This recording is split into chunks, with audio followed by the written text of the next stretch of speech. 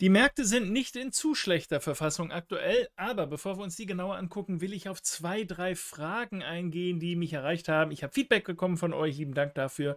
Das ist mir auch immer ein bisschen eine Hilfe, damit ich besser einschätzen kann, was braucht ihr an Informationen, was ist für euch wichtig eine war ein Risikohinweis. Da werde ich eigentlich nicht müde, das immer wieder zu erwähnen. Denkt daran, wir wissen nicht, was als nächstes passiert. Da war ein anderer Kommentar noch. Könnte auch sein, dass es hoch oder runter oder seitwärts geht. Das war natürlich ein bisschen ironisch gemeint, aber da ist eine Menge dran. Denn wer jetzt von mir erwartet, dass ich euch sage, was in der nächsten Stunde oder am nächsten Tag passiert, der wird maßlos enttäuscht werden. Ich habe leider keine funktionierende Glaskugel. Ich weiß es einfach nicht. Die Aufgabe eines Händlers ist es aber nicht, die Zukunft vorherzusehen, sondern die Aufgabe eines Händlers ist, und das kann ich als Berufshändler nun mit äh, dekadenlanger, also 30 Jahre langer Berufserfahrung durchaus sagen, die Aufgabe ist, nicht die Zukunft vorherzusagen, sondern aufgrund der ungewissen Zukunft, die wir alle nicht wissen, was als nächstes passiert, zu schauen, wie groß sind die Wahrscheinlichkeiten für das eine oder das andere Ereignis und dann zu sagen, wie gestalte ich das Ganze so, dass ich im Normalfall eher besser wegkomme als schlechter.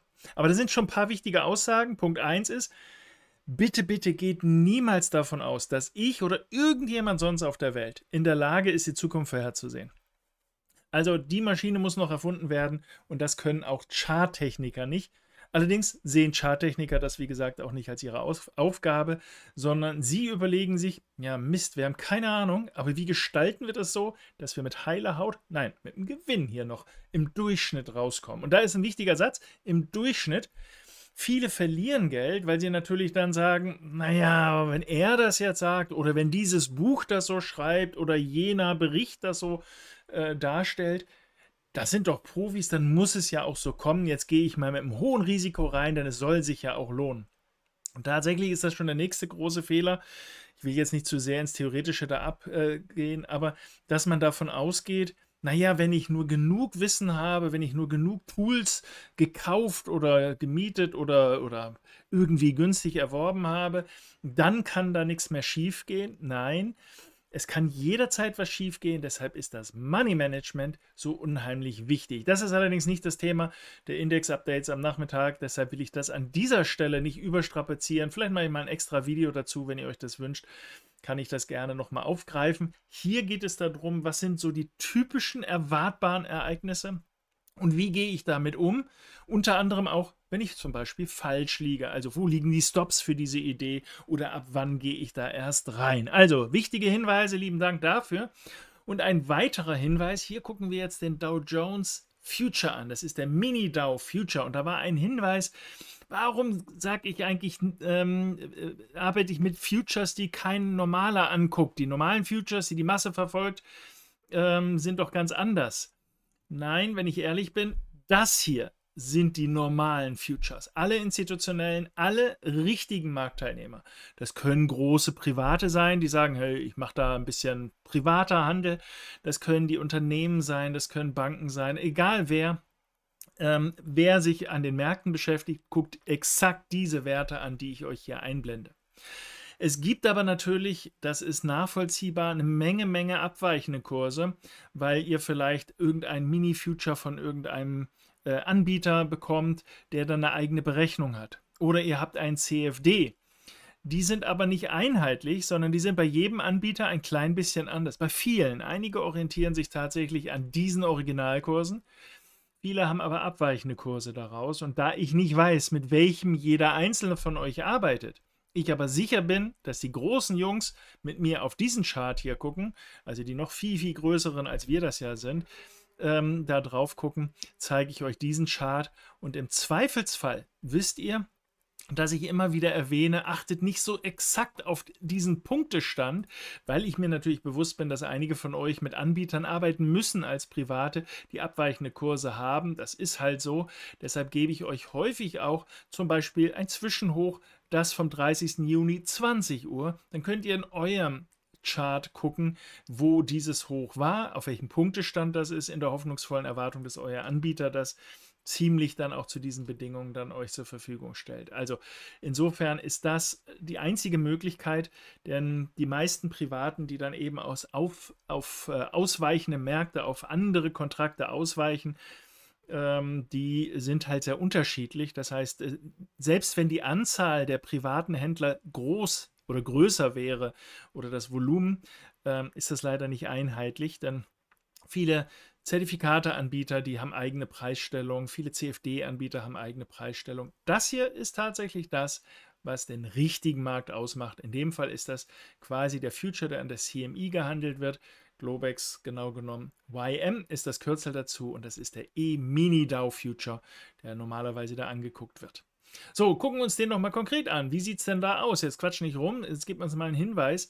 Tatsächlich, wir hatten darüber gesprochen, der Markt hat realistische Chance, hat alles gesehen, was er muss. Wenn er nicht zu korrektiv hochgeht hier, dann ist eigentlich die Aufwärtsrichtung relevant. Sprich, geht er hier korrektiv hoch an der Stelle, ja, dann wahrscheinlich doch nochmal tiefer. Geht er aber nicht zu korrektiv hoch und im Gegenzug aber korrektiv nach unten, also schwächer. Ich mache mal ein anderes Beispiel wo wir hier hatten, das war ziemlich stark nach oben und das hier war doch ziemlich wackelig nach unten. Das war die schwächere Richtung, zwischenhoch bietet mögliche Trigger für die Long-Seite. Das muss nicht exakt so aussehen, das ist jetzt nur ein Beispiel. Ich weiß, viele wünschen sich, nee, nee, du musst jetzt schon sagen, wie das in Wirklichkeit aussieht. Ja, das kann ich euch auch erst nachher sagen. Aber wenn das so aussieht, dann traue ich mich vielleicht nicht, weil es sieht nicht korrektiv aus. Wenn es jetzt so aussieht, dann ist das vielleicht dreiwellig, aber sehr tief und sehr steil. Traue ich mich auch nicht. Sieht das aber so aus, habe ich einen guten Eindruck. So in die Mitte wieder zurück und ich hätte hier eine Trigger-Marke. Trigger ist Auslöser. Das heißt, wenn der Markt da durchgeht, ist die Erwartungshaltung, dass das nochmal passiert mit realistischen Chancen, wir waren doch schon eigentlich fast fertig. Könnte das nicht? Jawohl, es könnte sehr realistisch weitergehen, weshalb ich in diesem Fall nicht zwingend hier Gewinnmitnahme machen muss, sondern eben sagen kann, dann ziehe ich halt den Stop auf dem Einstieg nach und wenn er wirklich umdreht, tja gut, dann fliege ich halt raus wieder, aber mit plus minus null, vielleicht sogar noch mit einem kleinen Gewinn, vielleicht auch mit einem kleinen Verlust. Das ist aber nicht wirklich das Entscheidende. Wenn er aber weiterläuft, dann kann ich dann entsprechend günstig eingestiegen eine relativ deutliche und weite Folgebewegung hier eben erwarten.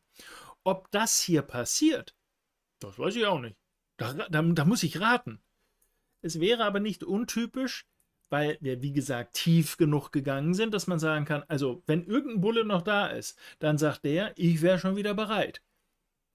Zweites, die Aufwärtsbewegung ist relativ dynamisch nach oben. Also noch ein Indiz, kein Beweis, ein Indiz dafür, und dann brauchen wir als nächstes eine starke, äh, gegen, äh, eine, eine, eine klar korrektive Gegenbewegung. Ich zeige euch das umgekehrte Beispiel. Hier hätte ich nach Shorts geguckt, weil wir hatten hier Schub runter. Und wir waren A, B, C dahin. Das ist eine super Short-Gelegenheit, wenn der Kurs das durchstößt. Ja, hat er ja nicht. Richtig, das war ja auch nicht Short an der Stelle. Er bietet mir keine Möglichkeit. Bis zu dem Zeitpunkt, also als der Chart noch so aussah, da habe ich gedacht, Mensch, wenn der dieses Tief jetzt durchstößt, wir sind steil runter, wir sind dreiwellig nach oben, wenn er das nach unten durchstößt, ja, dann gehe ich long. Äh, Entschuldigung, short in dem Fall, nämlich in der Erwartungshaltung, dass das, was wir vorne haben, sich nochmal fortsetzt. Deshalb ist das so wichtig mit den Triggern, weil ihr seht hier, dass der Markt, wenn wir jetzt die Zukunft wieder reinholen hier, nicht getriggert hat. Na ja, gut, dann ist das eben kein Short. Völlig richtig. Wäre ja auch nicht die cleverste Lösung gewesen. Trotz alledem nochmal auch mit Hinweis auf den, auf äh, den Risikohinweis sozusagen. Diese Variante funktioniert nicht immer. Wir sind ja nicht bei den Hellsehern hier, das ist ein anderer Kongress, sondern wir gucken uns an, was ist denn typisch und wie würden wir das Ganze so auflösen können, dass es für uns eben tendenziell vorteilhaft ist. Und nehmen wir mal an, er macht uns in der nächsten Zeit, ich, ich gehe mal jetzt auf auf ein Intraday-Chart, also diese 4-Stunden-Chart, ich gehe mal ein bisschen näher dran, dann gucken wir uns das hier mal an, wie das aussieht. Also meine Erwartungshaltung ist, dass wenn wir hier ähm, in Bälde, das ist jetzt vielleicht nicht super sauber, aber es ist ein relativ starker Anstieg. Und wenn wir hier irgendwann mal eine Korrektur, es kann auch locker sein, dass er erst noch ein bisschen höher geht und danach erst die Korrektur macht. Das weiß ich nicht, aber irgendwann wird er die Korrektur machen. Und wenn diese eben ähm, zum Beispiel dreiwellig ist, machen wir das mal so, A, B, C, zum Beispiel so aussieht, in die Mitte wieder rein, dann nehmt ihr den tiefsten Punkt, nehmt ihr den dann höchsten Punkt. Im Moment wäre das hier der höchste Punkt. Das heißt, wenn ich das jetzt konkret messen sollte, dann würde ich quasi von diesem tiefsten Punkt hier messen bis zu diesem höchsten Punkt und dann möchte ich, dass der Rücksetzer da reingeht. Und wie soll er reingehen? Korrektiv. Korrektiv ist entweder dreiwellig da rein oder von mir aus auch mehrfach. Dann sollten aber die Gegenbewegung, das ist eine Gegenbewegung, das ist eine Gegenbewegung, in der Abwärtsbewegung eine Gegenbewegung, dann sollten die überschneidend sein, damit ich den Eindruck habe, nee, nee, nee, nee, das ist nicht die starke Richtung. Was meine Long-Idee sofort zerstört ist, wenn der Markt jetzt das macht. Dann ist er auch hier angekommen in der Zone. Aber das ist nicht korrektiv. Denn korrektiv haben wir gesagt, irgendwie sowas oder von mir aus sowas. Kann man sich auch leicht merken, hier wäre der Trigger hier, hier wäre der Trigger hier und hier ist äh, kein Trigger möglich, weil gibt es ja gar keinen Aufhängungspunkt. Also insofern, im Moment muss ich sagen, ich gehe wieder eine, eine Stufe größer jetzt hier, wir können das mal wegmachen hier. Im Moment muss ich sagen, gefällt mir ähm, dieses Tief durchaus und die Anschlussbewegung, um bei der nächsten Korrektur, die sich vielleicht im Laufe des Nachmittags, abends, aber in den nächsten vielen Stunden vielleicht hier entwickelt. Das kann ich mir sehr gut vorstellen, wenn diese wirklich korrektiv aussieht. Wichtig, nur dann triggern lassen für die Long-Seite. Sieht sie zu steil aus? Dann natürlich nicht. Denkt immer dran, dreiwellig, das ist manchmal ganz sauber zu erkennen, manchmal kann man es nicht so gut erkennen. Hier ist es jetzt klar dreiwellig, ähm, vielleicht ein bisschen zu spät für einen Einstieg hier. Es lohnt sich vom Chance-Risiko-Verhältnis nicht. Das habe ich letztens ein paar Mal erklärt, will ich jetzt nicht nochmal in aller epischen Tiefe. Aber ähm, dann muss man den Trade ja nicht mehr unbedingt machen. Also ich bin nicht so sehr auf der Suche nach übergeordneten Shorts mehr, weil ich ja eigentlich erwarte, wenn es wirklich nochmal runtergeht, dann da rein. Da ist der Spielraum nach unten nicht mehr so groß. Nochmal zur Erinnerung, das übergeordnete Long-Bild ist 33.100 alles, was oberhalb ist, macht mich nicht verrückt. Alles, was dann da drunter geht, da fange ich dann an, nervös zu werden, weil ich sage, also damit könnte ich auch noch leben, das ist alles gut. Aber dann fängt das an, warum ist das so tief gegenüber dieser Bewegung? Das will ich dann nicht mehr haben. Also insofern brauche ich mir vorläufig für die Long-Position mit den weiteren Stop-Varianten keine Sorgen zu machen. Denn ähm, das kann passieren, dass er da durchgeht, aber dann gehe ich ja raus. Das heißt, bis dahin, das ist mein Risiko, was ich habe, aber äh, wenn ich eine Rendite haben will, muss ich auch ein Risiko eingehen. Ich kann ganz schlecht sagen, nee, nee, Risiko, das ist äh, ganz doof. Ich will eigentlich nur die Rendite haben. Sagen kann man das, aber das ist natürlich nicht sehr realistisch. So, also ihr seht, bullischer Markt unter der Voraussetzung, dass es hier korrektiv passiert. Die Chance ist da. Ich sehe ganz gut und wir wissen ungefähr, wo die Mitte ist.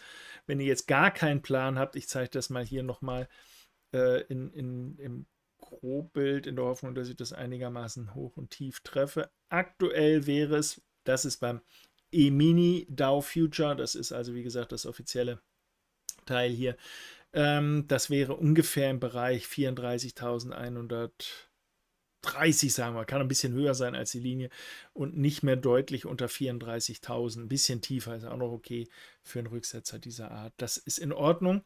Damit sind wir also quasi irgendwo da in der Ecke korrektiv. Das wäre eigentlich eine schicke Geschichte. So, wie sieht es beim SP aus? Grundsätzlich Amerikaner häufig ähnlich, aber nicht immer gleich. Hier gefällt es mir weniger gut. Also der Dow ist besser, er ist nicht perfekt. Also ich bin noch nicht so ganz sicher, ob es wirklich jetzt schon direkt hochgeht.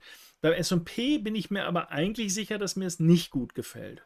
Warum bin ich da zickig? Wir haben hier das letzte Tief im 5-Minuten-Chart. Ich mache das mal groß. Das ist dieses Tief, was wir hier haben. Das ist 4-Stunden-Chart zur Erinnerung. 16. Juni, da unten 26. Juni. Das ist 3. Juli und das ist hier das Tief 7. Juli oder 10. 10. war es, glaube ich, hier. Weiß ich nicht, aber an, an dieser Tiefmarke hier, das könnt ihr also relativ leicht im Chart wiederfinden. Und ich habe ein bisschen die Befürchtung, wir gehen nochmal runter tatsächlich. Warum habe ich die? Weil ich mit diesem Anstieg, mit allem, was von diesem Tief, von dem noch nicht so zufrieden, zufrieden bin. Beim Dow ist es nicht ganz so dramatisch, aber auch nicht richtig schön ist es auch nicht.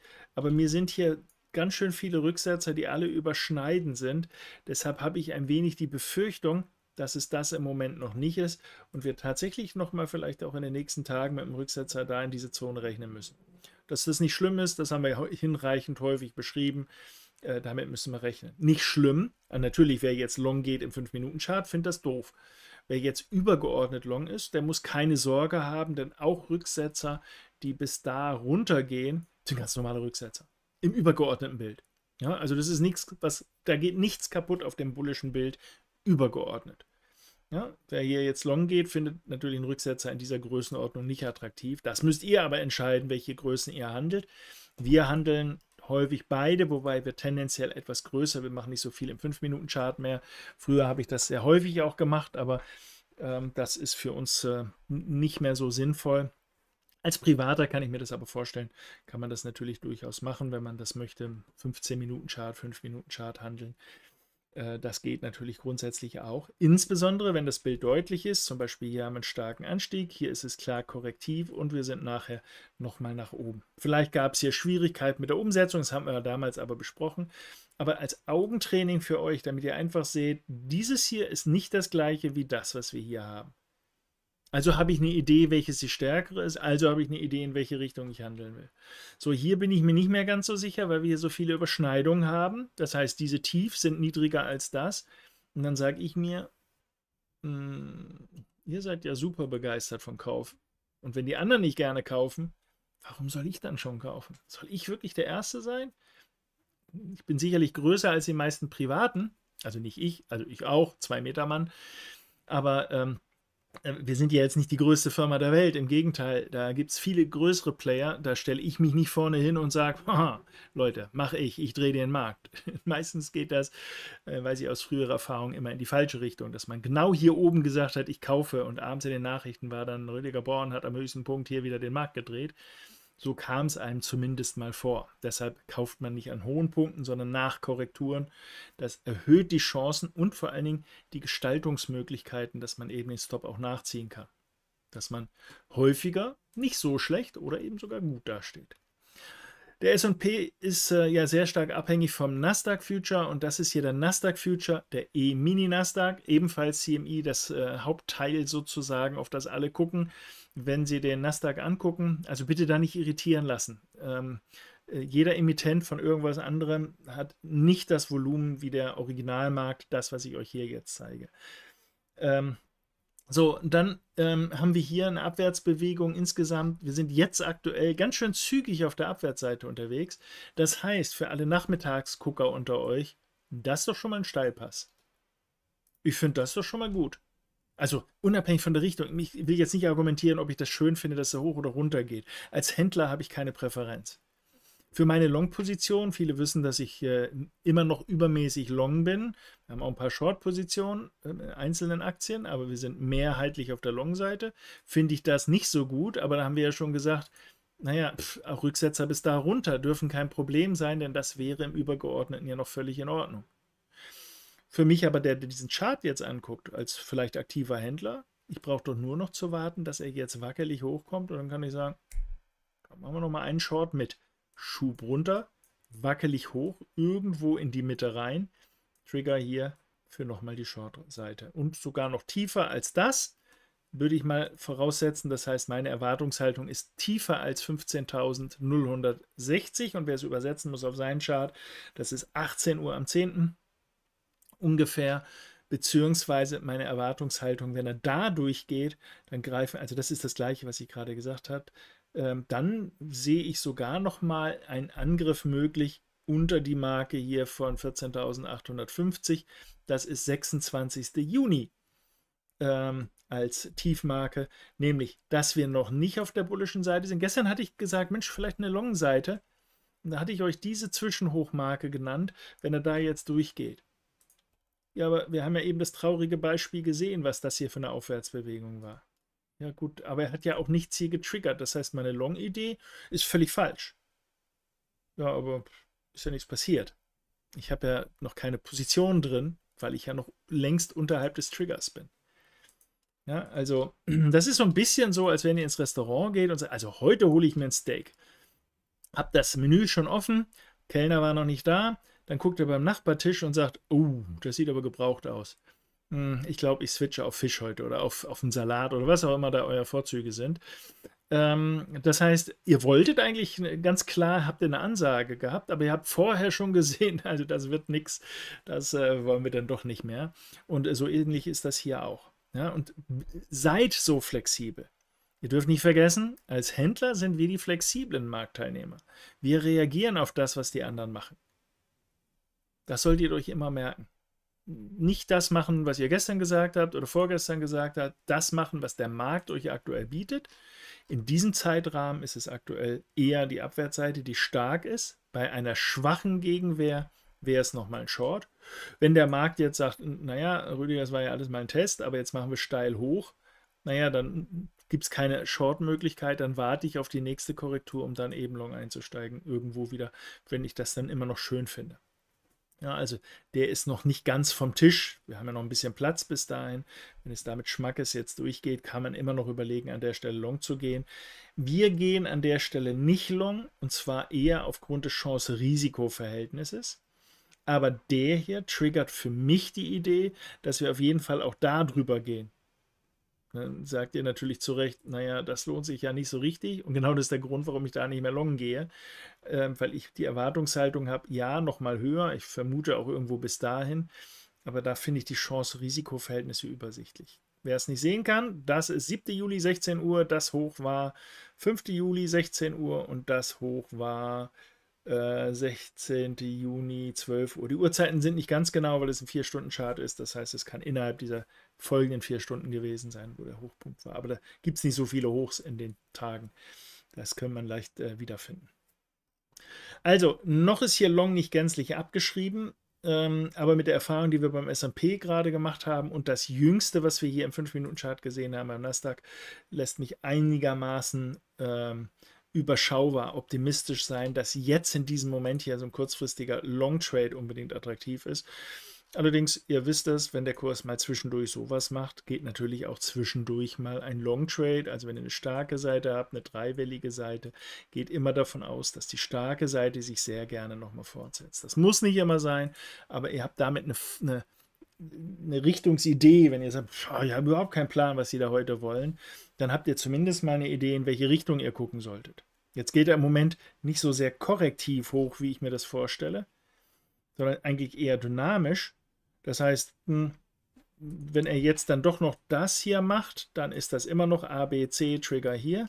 Wenn der jetzt allerdings weiter Schub hoch macht und wackelig runter, dann wisst ihr jetzt schon, was ich machen werde. Und das ist das Interessante.